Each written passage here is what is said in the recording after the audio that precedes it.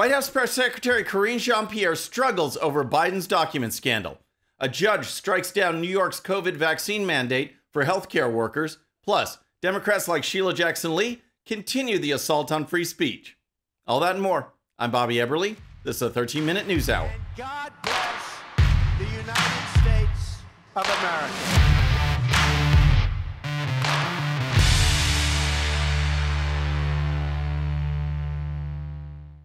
Okay, friends, welcome to the show. Happy Wednesday. Hope you're having a great week. If you're new to the show, thank you so much for tuning in. We're going to start with White House Press Secretary Karine Jean Pierre, because as you know, she's terrible. But if you add a real scandal to it, like classified documents being found in Joe Biden's office, his home, his garage, the whole aura of incompetence jumps to a whole new level. Here's Jean Pierre when asked about the fact she said the search for documents is over yet more are still being found. I have been forthcoming from this podium. What I uh, said yes to was what the statement at the time that we all had, right? You all had the statement, uh, and I was repeating what the what the uh, counsel was sharing at that time. Right, and had, so we had that statement, so we knew what was in it. But you also exactly. knew. Did you not know that? I'm telling you, I just answered the question. I just said that I was repeating what the information that we had at that time. As is her usual practice, she didn't actually answer the question. She simply repeated what was on a statement that reporters already had. And then she went into her trademark slogan. If Jen Psaki had circle back, Jean Pierre is the master of let me be clear. So, just to be very, very clear, uh, and look, I've also been very clear about being prudent from here. I was also being very clear about being consistent from here uh, and not going uh, beyond uh, what is currently happening, right? What's great about Jean Pierre's go to line is that she is actually never clear. At one point, Jean Pierre was asked whether Joe Biden himself was helping search for documents since they are being found in his home. Look, I'm going to be very consistent here. Uh, I am going to be very clear here, uh, as I have been for the past couple of days, almost a week now, uh, dealing with this. Uh, you know, we are going to, any specific questions that you have about this issue, I would refer you to my colleagues at the White House counsel's office. So, here's what really gets me about Jean Pierre it's one thing not to wade into specific legal matters or military strategy or diplomatic nuances. Sometimes the right thing to do is to refer the press room to an expert. Fine. But she does that all the time and won't answer anything. There are questions, however, that she should be able to answer, and she doesn't answer those either. Here's a perfect example. The White House says Republicans are faking outrage on this issue. Why shouldn't Americans be outraged about classified documents being found in a garage? Look, and I think I've been very clear about this. We have answered questions on this at this podium. You've heard, as Phil was saying, twice from the president talk about this. He said that he didn't know, right? He said that he was surprised, and he said that he takes classified information and documents very, very seriously. Great question, because the reporter isn't asking about specific legal items. He's just asking, why shouldn't the American people be outraged? In other words, he's asking, what's the president's opinion of the public outrage? She is the spokesperson for the president, and all she ever says is, let me be clear, and then doesn't answer the question.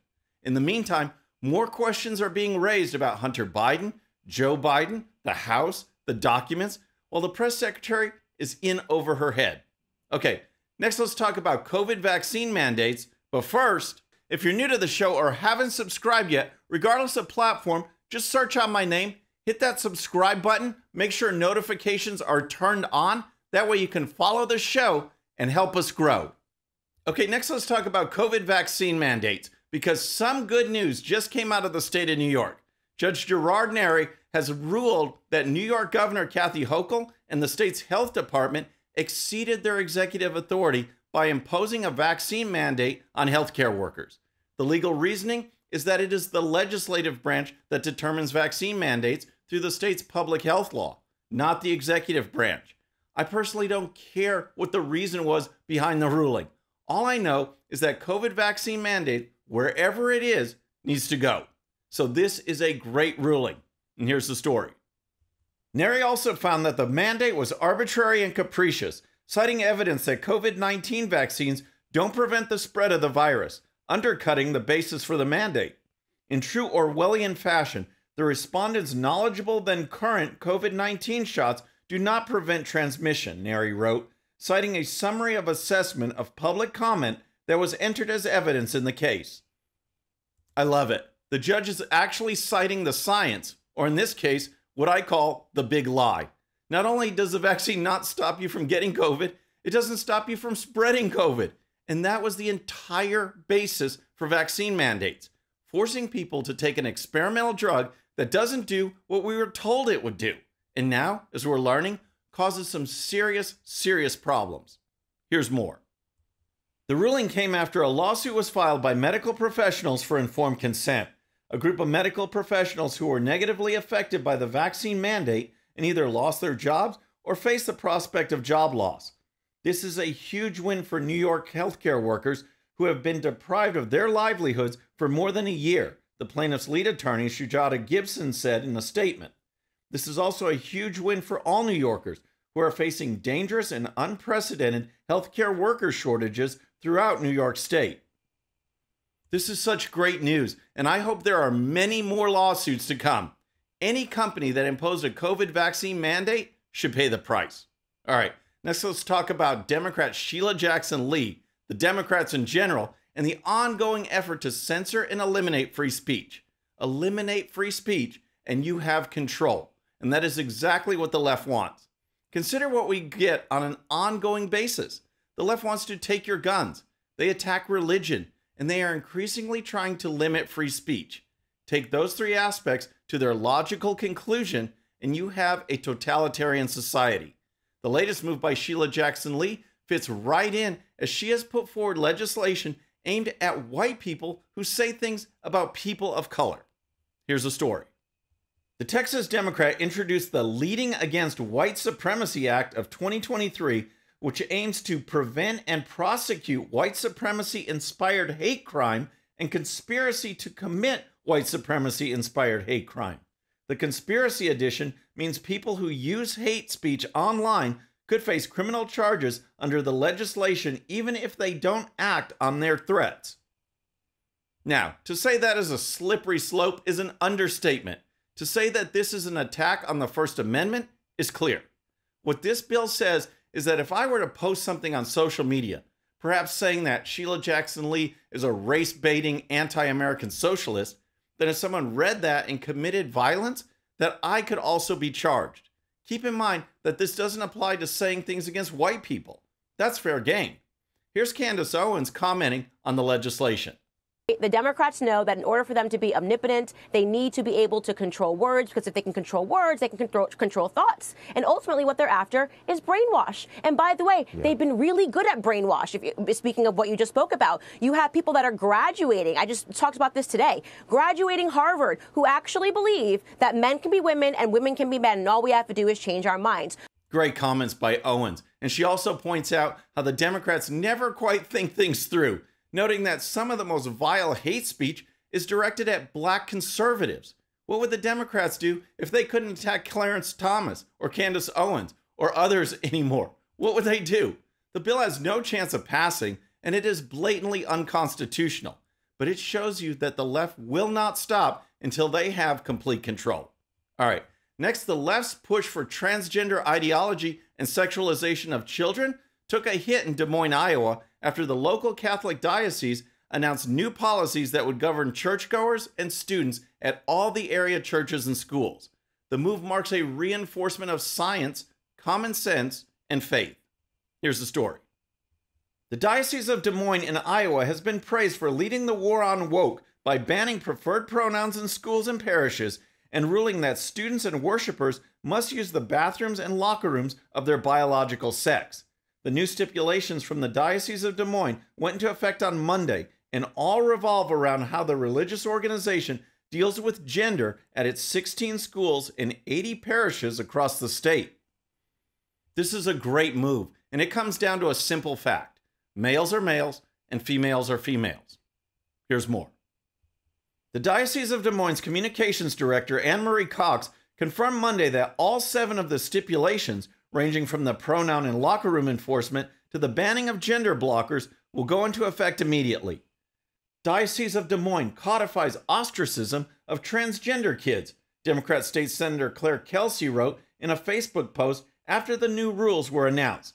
The Democrat went on to claim that the rules could drive kids toward suicide. Oh my gosh, these people have no shame. And how many of you think that these so called transgender children are simply being pushed that way by left wing parents? I'm so glad that this diocese is doing the right thing. Okay, next, with all the push for electric vehicles, such as in California and other blue states, states that can't even meet their current electricity demands, we have Wyoming, which may be going in a different direction. Is Wyoming flipping things around from what other states are doing? Get this. Wyoming is proposing a bill to ban new sales of electric vehicles by 2035. The bill highlights the value of oil and gas production on Wyoming's economy and the labor market, claiming that fossil fuels will be important to transport people, goods, and services, not electric. Five states have already pushed to ban gas powered vehicles in the same time period. Now, it's all well and good that Wyoming wants to protect its critical industries, and I would never support something like a California bill that attacks the oil and gas industry. It's just a simple fact that fossil fuels meet most of America's energy demands in the most affordable way for consumers. However, the market should decide who the vehicle winners and losers will be. It should not be mandated by government. The key is for American people to have the full story. Electric vehicles are not environmentally friendly. The raw materials are controlled by foreign countries, which would destroy our energy independence and impose a national security risk. And of course, there's the humanitarian side. You have these big, burly American guys getting American oil for Americans. Who's getting the raw materials for electric car batteries? Kids like this. Kids in the Congo in a cobalt mine. The point is, buy whatever you want. But before you wrap yourself in the green narrative, get the full story. Friends, that's our show for today. I hope you enjoyed it. Don't forget, if you're new to the show or haven't subscribed yet, regardless of platform, just search out my name, hit that subscribe button, make sure notifications are turned on. That way you can follow the show and help us grow. Thank you so much for tuning in. And remember, today's show's one sheet is available to Patreon supporters using the link in the description. The one sheet gives you the links to all videos and stories used on today's show, so you can dive even deeper into each issue. And with that, our next show will be Friday evening at the usual time. Until then, I'm Bobby Eberle. This is a 13 minute news hour.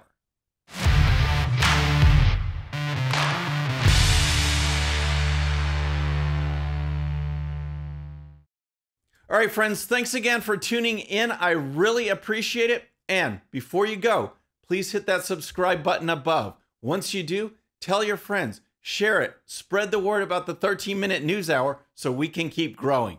And for more great content, check out these videos right here, and I'll see you next time.